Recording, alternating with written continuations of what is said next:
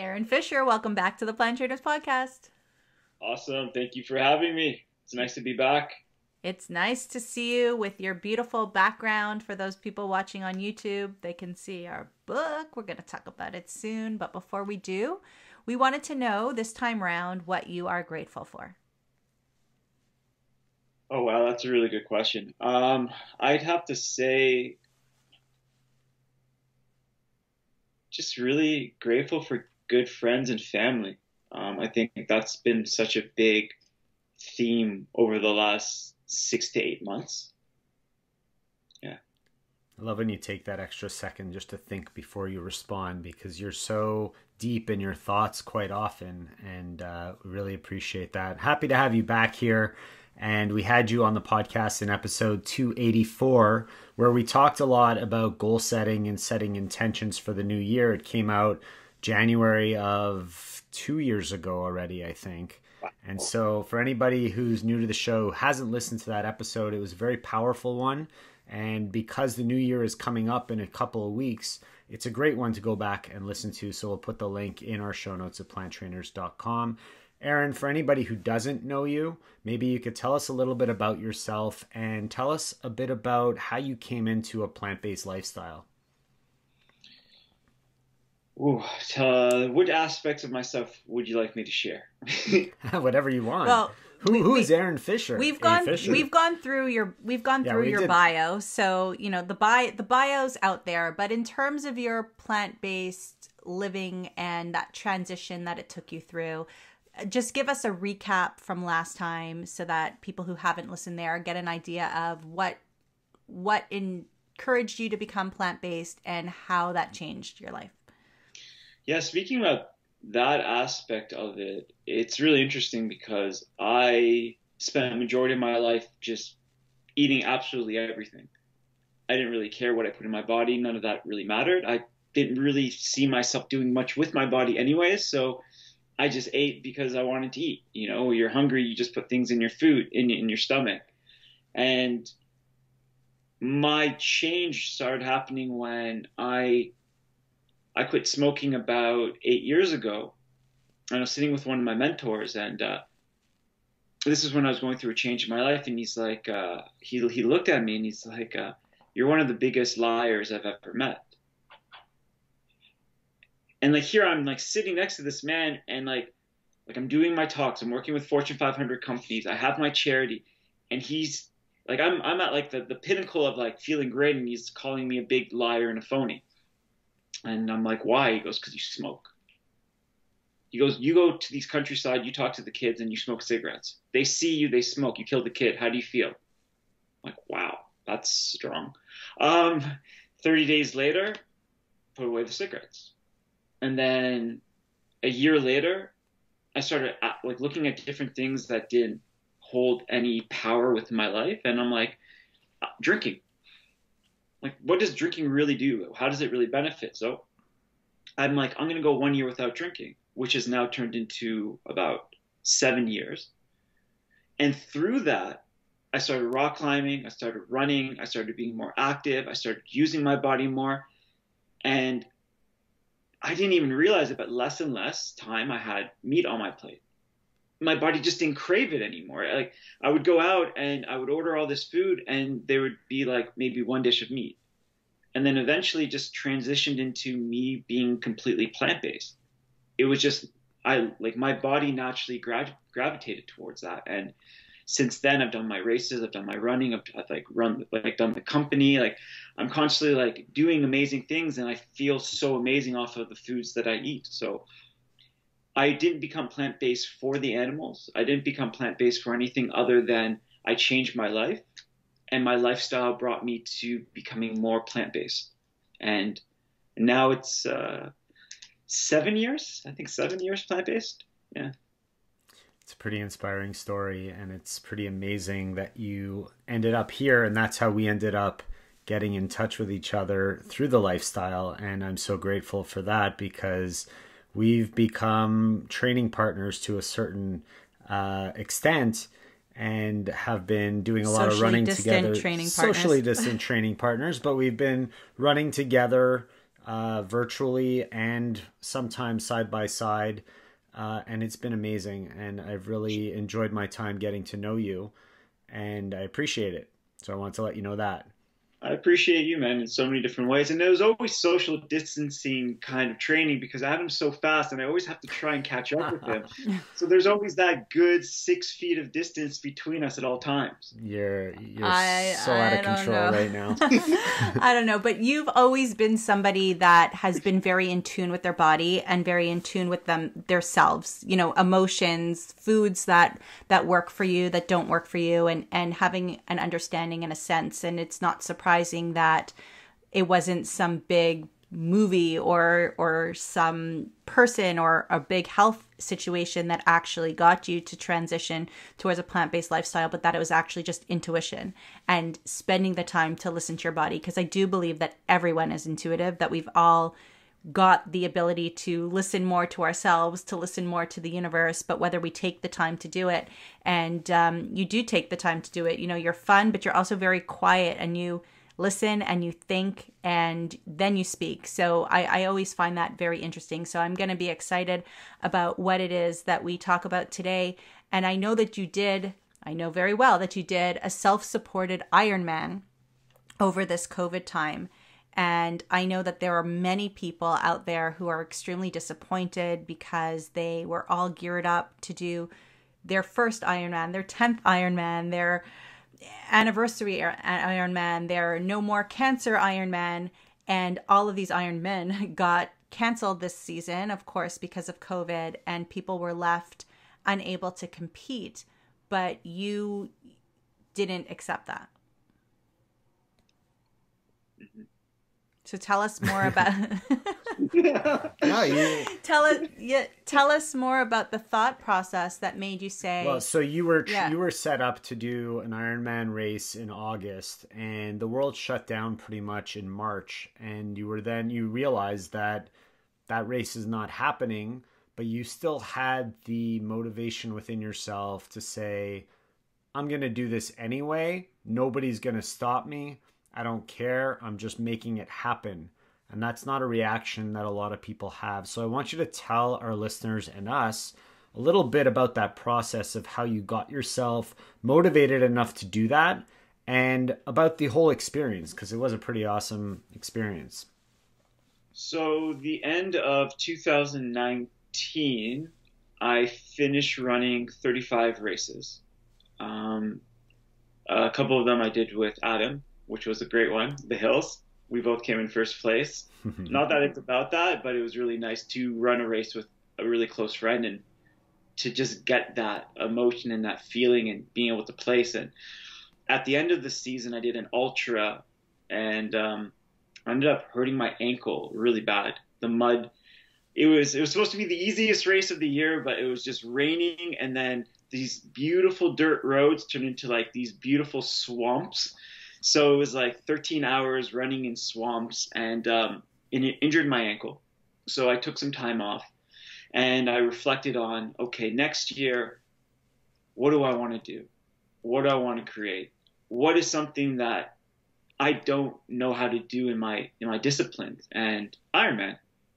Like I'm a runner, I can do um, ultras and things like that. I can do obstacle courses, but the only time I rode a bike was for like 16, 65 kilometers, and that was literally out of ego and pride. I didn't even want to ride that much. It was in China, and I was riding my bike, and there was this guy next to me who was my tour guide. And every 10 kilometers, he'd be like, Oh, are you tired? And of course I was tired, but I'm like, No. Are you tired? He's like, No. I'm like, Okay, we'll go.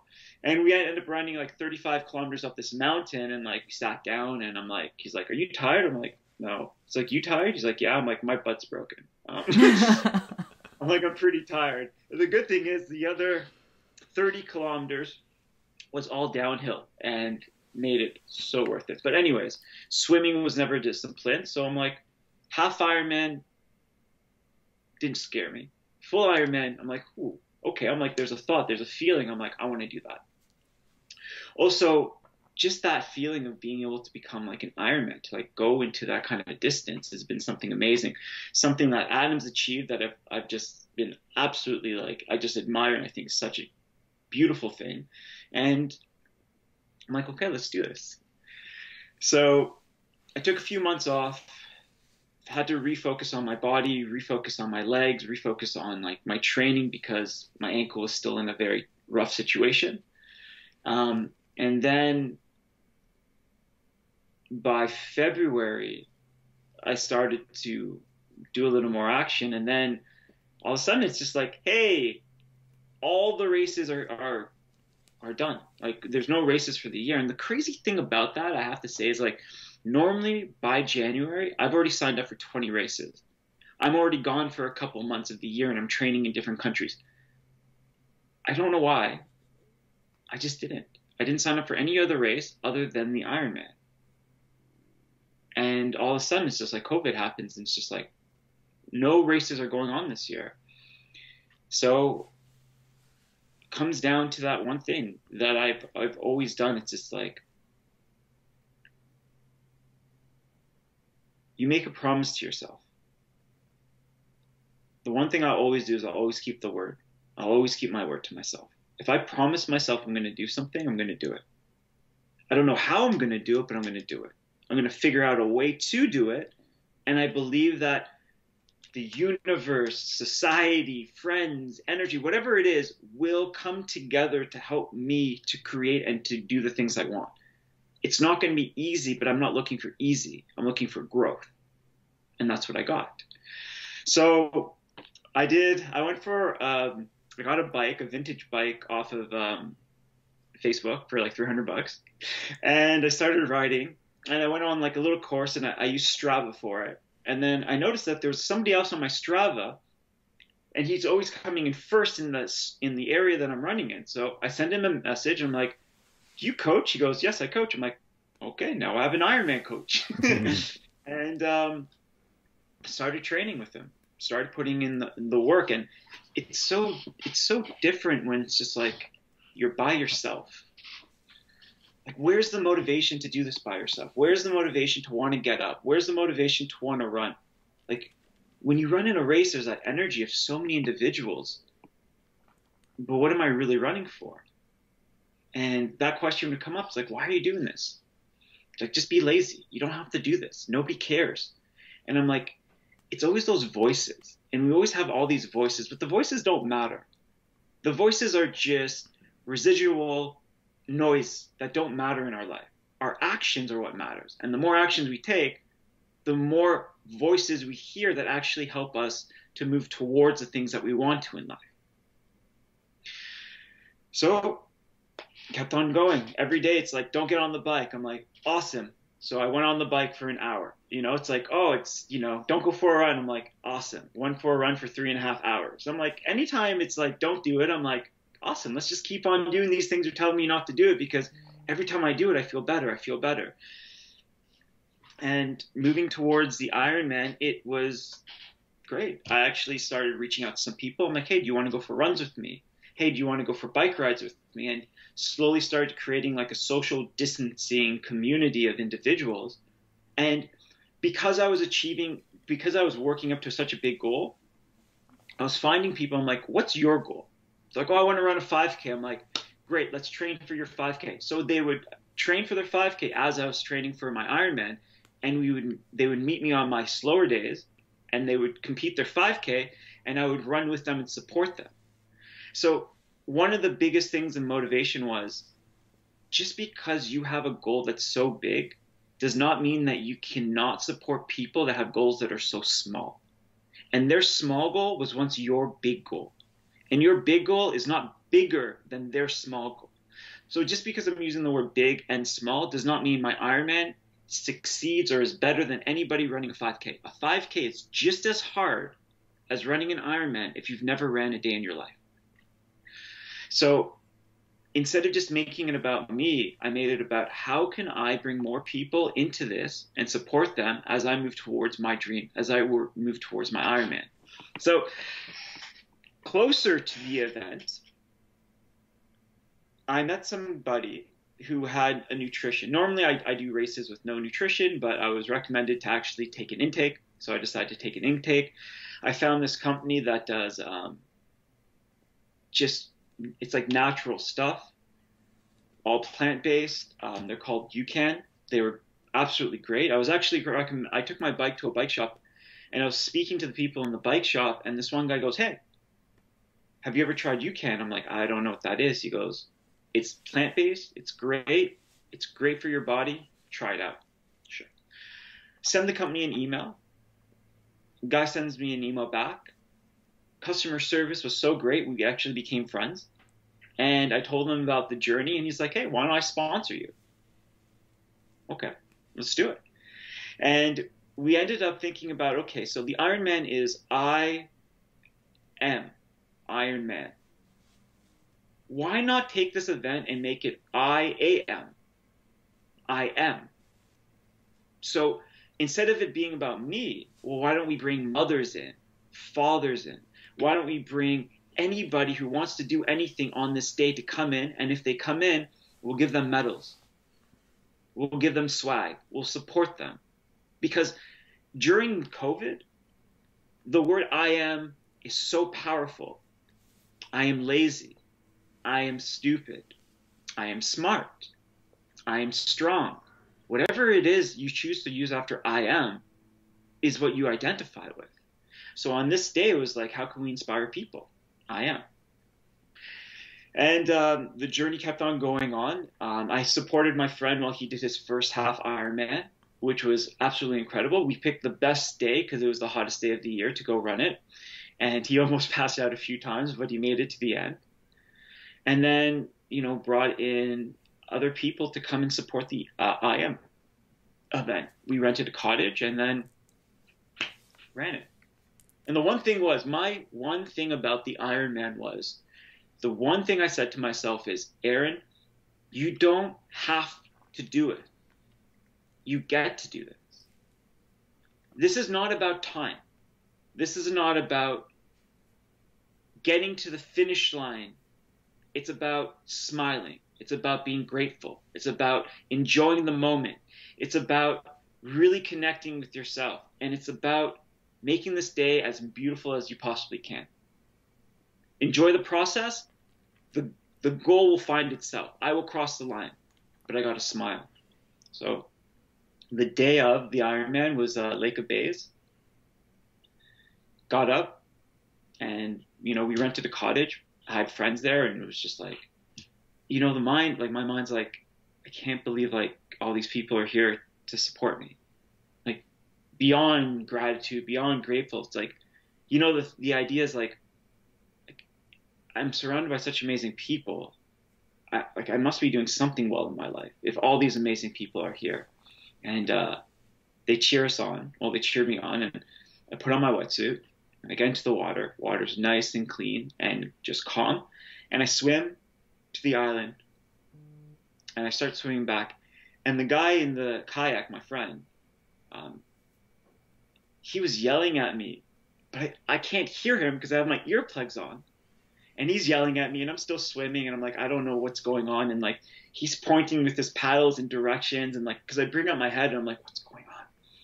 So apparently we got lost um, on the swim. Yeah. So we we um, we picked how far to go, but the thing is, when you swim from a cottage that you've never been to, it's nice to see where you go out. But swimming back, all the cottages look the same. So instead of like swimming the normal Ironman distance, I actually swam an extra 400 meters till eventually we found it and uh, take off take off the wetsuit. My friend's cheering me on. And he's like singing songs, you know, like Rocky, of the Tiger. Get into the car, I get onto my bike, and I just start going. And the one thing about the Ironman course is so I designed the Ironman course, and the day I designed the Ironman course, like I, I went up to the Lake of Bays a week before, and I was noticing like all these people doing the course that I was designing backwards, and I'm like, why are these people punishing themselves? Like, why don't they just go the, the easier way? Well, the day that I went to ride the bike, I realized that they were going the easier way, and I picked the hardest way possible to ride that bike. It was uphill and uphill and elevations and nonstop. It went up, and then it went up, and then it went flat, and then it went up. And the whole time I'm just laughing. I'm like, way to go, way to go. Um, the heat starts to hit in, and you know the one thing about running and doing endurance for so long is you really connect with things and spirits and nature and there's a point where I'm riding the bike and you know it's it's getting heavy on my legs and I just start singing um, a song. So one of my best friends who passed away, we would sing Chinese songs together because of the years we lived in China. And he was just there next to me and like I could hear him being like, "Why are you doing this?" and just laughing, not like, oh, why are you doing this? Like, why are you doing this? And just being like, you're crazy. And then singing songs and me and him having like these most amazing conversations and just feeling so connected to him and then moving on. And then the loop. Change, people cheering on, then the loop. Finish off the bike. And then I had friends waiting for me to do the run. And uh, they all wanted to run together, so we all started running together and then they looked around and I wasn't there, and they're, you know, everybody's like, "Where's Aaron?" I was in a bush, um, pissing, and it just needed to happen. I'm sorry, like you're riding, you're drinking a lot of liquids, you just need to go. You're supposed to leave that on the bike.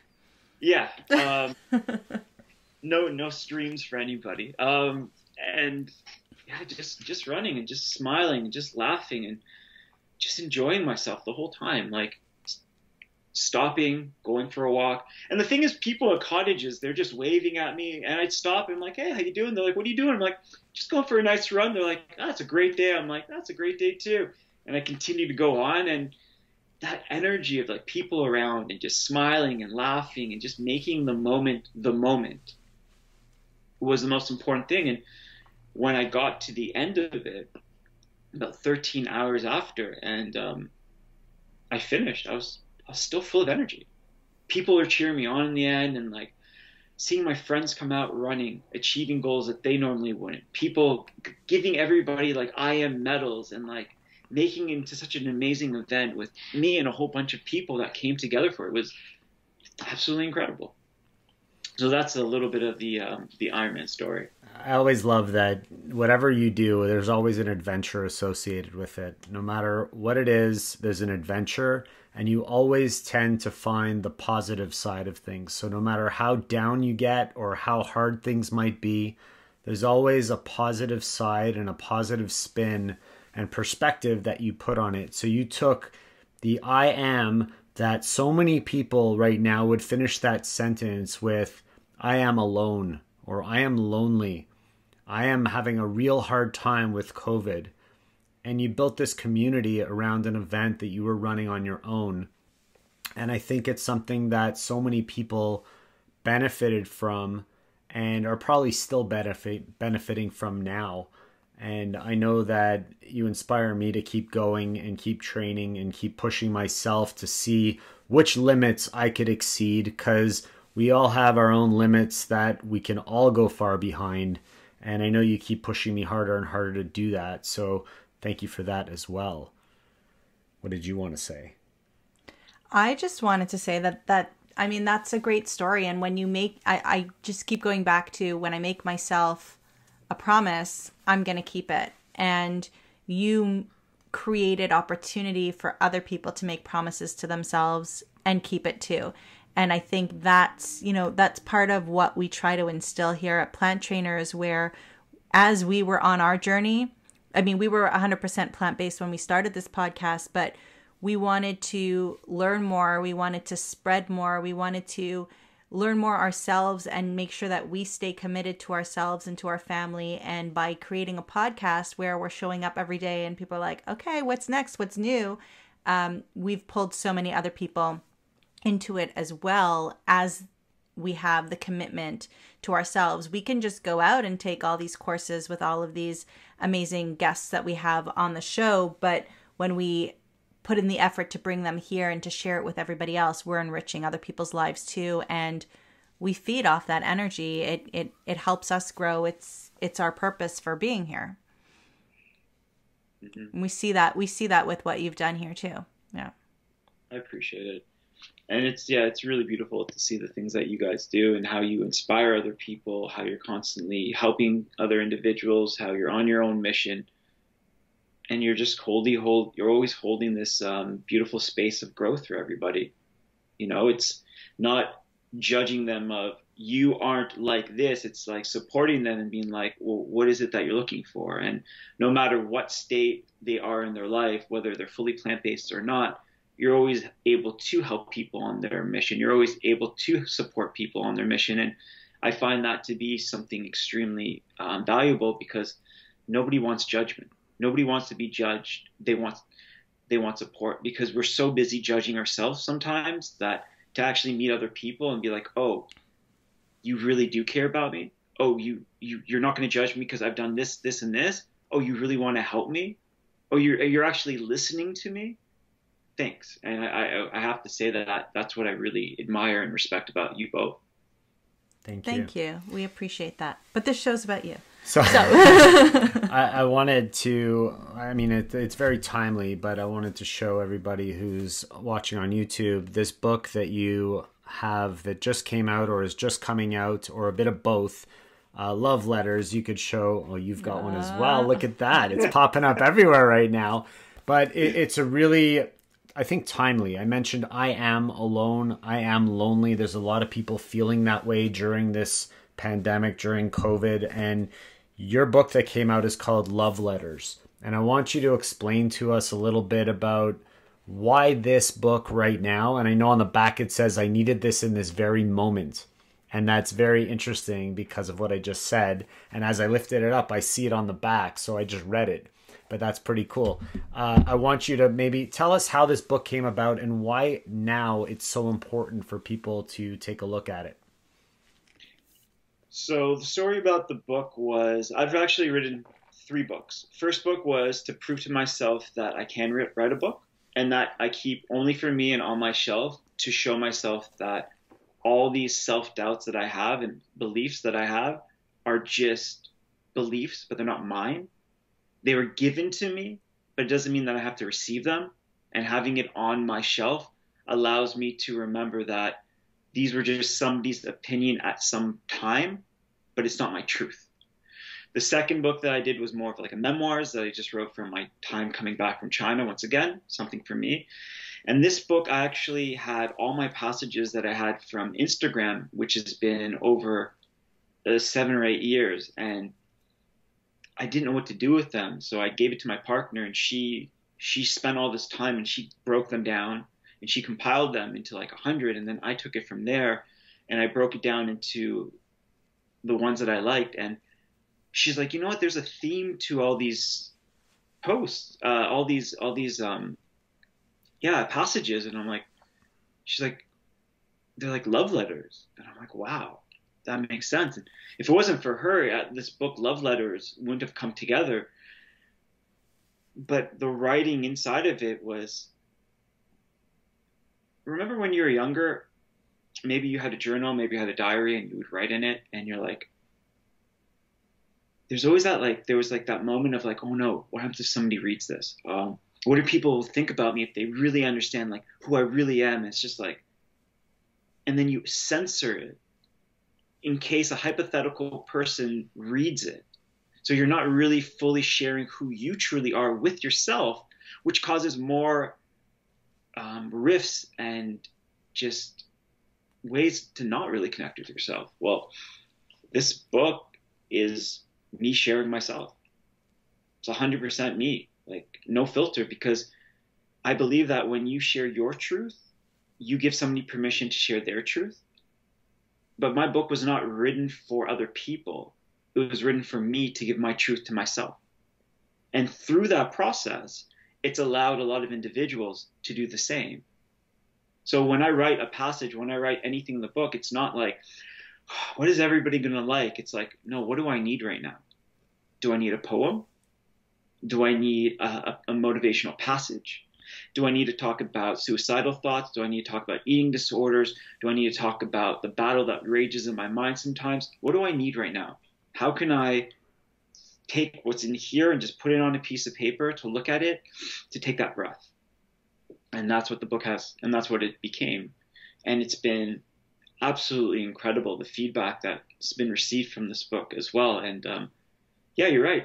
Right now is a very timely time because right now there are so many things that we're going through. Mental health, a lot of it is going up. A lot of depression, a lot of anxiety. It's on a rise because we're not really connecting so much as humans. So, what do we need? Well, we need a, a little more love. And how do we get love? Well, one letter at a time. Well, what does that look like? That's your choice. And this was mine. And this is how love letters came came to be the way it is.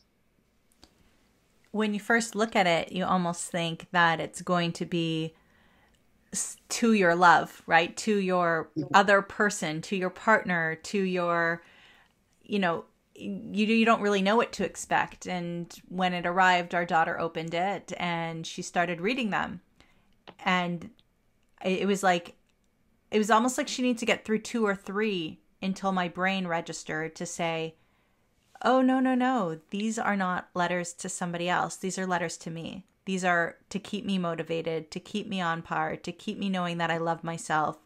Um, and and and it was very it was very clear, but you know when you expect something it's almost like your brain makes it happen and and then my brain had this big like moment of no no no shoshana pay closer attention um, but it was it was it was really interesting and it was exactly what what people need and we do see such a big rise in mental health issues now you know much bigger rise in in suicide and if everybody had a book to support them, how much easier their days might be, and for people to create their own love letters to themselves and, and be inspired to do that. Is, is that something that was on your radar too, hoping that people would be um, motivated to write their own? 100%. The, to start with the love letters is step one. I'm going to be holding like love letter workshops where people can write love letters. I believe that we need to express ourselves, and writing is such a great form of it that speak to that emotion, speak to that feeling. And a lot of times the, these thoughts are like going around our mind like nonstop. It's just like, well, when you write it down, it's almost like you puke them on a piece of paper and they have nowhere to go. Like you can see them. And once you see them, you can actually become more in control of them you can let them flow, you can let them become, you can play with them, you can be creative. You have more of um, a connection of how they will become in in your life. So it's like, well, I feel worthless. Okay, so let's write down worthlessness. Okay, dear worthlessness, um, you know, and let's just write down all these thoughts and these feelings that you have within. Then it's all of a sudden you like this like cathartic feeling happens. You're like, oh, so I'm not worthlessness. It was just a thought. Oh, okay. If I'm not that, then maybe I'm not a lot of these other things I have. Well, let's write these things down, right? And I don't think that writing is the only way to get this out, but I believe writing can be super powerful. Pen to paper. You know, that's why they say the pen is mightier than the sword, because the sword only cuts the skin, while the words and the thoughts and emotion can haunt the soul. This is why getting it out can really help to take a lot of the inner world and put it on the outside. And then once on the outside, you realize that shit, that's not even it's not even so bad. It's not even me. It's not even I have a choice in this option. Like I have a choice in these situations. You have so many different passages and poems, and some are short, some are long. Is there one that's your favorite in here? So I've been on a few talks already, and I've been asked this question, and no, I love like I it's not like I'm saying I love them all because I wrote the book, but I'm saying I love them all because I wrote the book. right. Because these these are all timely in certain points in my life. So every time I read I it's like when I read a passage it brings me back to that moment, to that time. And in that time was it, it was one of my favorite moments because it really did help me. Um, it really did yeah, so I have a, a very big connection with all the passages and things in the book. They're they're really great. A lot of them just hit home and you could you could open it up on any day to a different page and read something that will just spark. I mean, I just opened this right now while we're talking and it says, "I love you not for who you were or for who you think you will be, but for what you are now, here in this moment with me. And it's just just thank you for being here with us and for putting this out there because there's so many messages in this book that are going to really help so many people get through these tough times. And I, I mean, yeah, did you want to say something? No. you like that, eh? I like so that. I'm if, pretending you wrote that for me. Yeah, I wrote that for you. I wrote that for myself. I wrote that for you. Aaron Fisher wrote that for everybody, and everybody can pick up their own copy. Uh, I'll put a link in our show notes to the book so people can pick it up.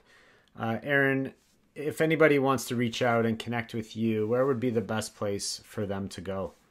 So the best place to go would be Instagram, where it's uh, the Awakening Self, which is always great. And on the Awakening Self, there's in my profile, you can find my podcast, you can find my YouTube channel, you can find previous talks, but you can also um, find ways to send me your email, to send me a message, to book like a 30 minute chat if you want to have a, just a conversation about things. So in there, you can have access to pretty much all the ways to contact me. Perfect. So we'll link to that in the show notes at planttrainers.com. As always, it is our pleasure to speak to you. We love hanging out with you. Thank you for everything you've done for us personally and for all the people you come into contact with and for sharing the love letters that you are sharing. And I can't wait to get back out on the road with you and start running again, which hopefully by the time this podcast comes out, it's already happening. right? Thank you again so much for your time, for everything that you do, for all of your friends, for all the people who are not your friends yet, that you don't even know of yet. And we really do appreciate you being here today on the Plant Trainers podcast. Beautiful. I thank you guys so much for having me here. I really appreciate you guys. Thank you. Thank you.